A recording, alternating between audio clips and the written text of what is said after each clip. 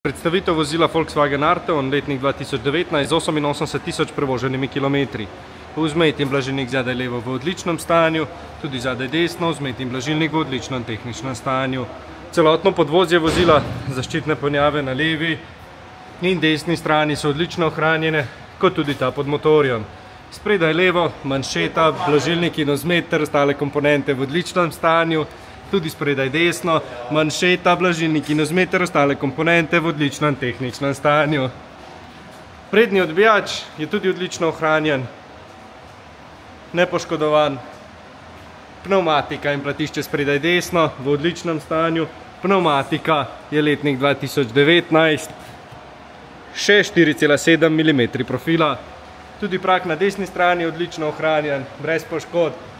Pneumatika in platišče zadaj desno v odličnem stanju.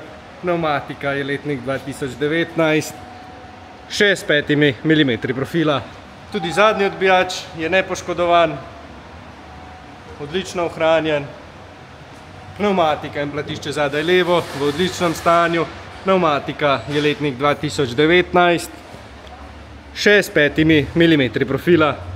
Tudi prah na levi strani je odlično ohranjen, brez poškodb. In še pneumatika ter platišče spredaj levo v odličnem stanju. Pneumatika je letnik 2019, še 4,5 mm profila.